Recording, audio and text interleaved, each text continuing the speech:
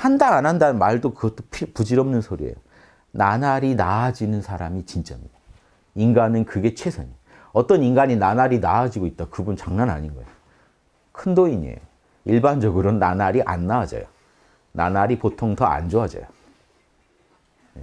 본인은 나날이 나아진다고 믿겠지만 주변 반응을 보면 나날이 나빠지지 않으면 다행. 현상 유지라도 하고 있다는 건 되게 열심히 노력하고 계신 거예요. 냉정해요. 그게 형이사, 형이하의 세계에서 세간의 세계에서 보여줄 수 있는 덕이에요. 출세간의 도는 영원 불별이지만 세간에서 그 도를 보여주면 꺼내놓으면 덕이 돼요. 출세간의 인의의지를 밖에 꺼내놓으면요 덕이 돼요. 출세간의 인이라는 우주적 추상적 정보를 밖으로 내가 사랑이라는 걸로 구현하려면 생각, 뭐 감정, 언행 다 총동원해서 만들어내야 돼요. 그 작품을 무련시키는 거예요. 사랑을. 그걸 여러분도 보고 저도 알게 이런 사랑을 구현해 보는 거예요. 정의를 구현해 보는 거예요. 보시를 구현해 봐요. 지게를 구현해 봐요. 인욕을 구현해 봐요. 반야를 구현하려면요. 경전 넣고 다 풀어낼 수 있어야 돼요. 반야를 구현한다는. 속에서만 너무 자명해요. 참나만. 물어보면 하나도 몰라요. 그러니까 뭘 해요, 결국? 모른다만 하고 있는 거예요. 물어보면 답답, 자기도 답답해지니까. 묻지 말라.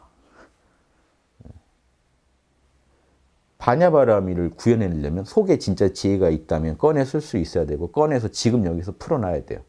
어렵다는 경전 다 시원하게 만들어 놓지 못하면 반야가 없는 겁니다. 저 참나한테는 있겠죠. 그러니까 도의 세계에서는 있겠죠. 덕의 세계에서는 없는 거예요. 근데 나를 통해 덕으로 구현 안 된다 그러면 나한테 없는 거예요. 그게. 구현이 되지 않는 거는요. 이렇게 말할 수가 없어요. 참나 안에는 무량공덕이 있겠죠. 문제는 나를 통해 드러나지 않는다는 게 문제죠. 거기에 내가 닦은 만큼만 드러나요. 내 안에 전지전능한 부처가 있어도 내가 닦은 만큼만 드러납니다. 덕으로. 그래서 그 사람 덕 수준이 그 사람 영성 수준이에요. 그 사람이 어디까지 인의의지를 소화하고 있나?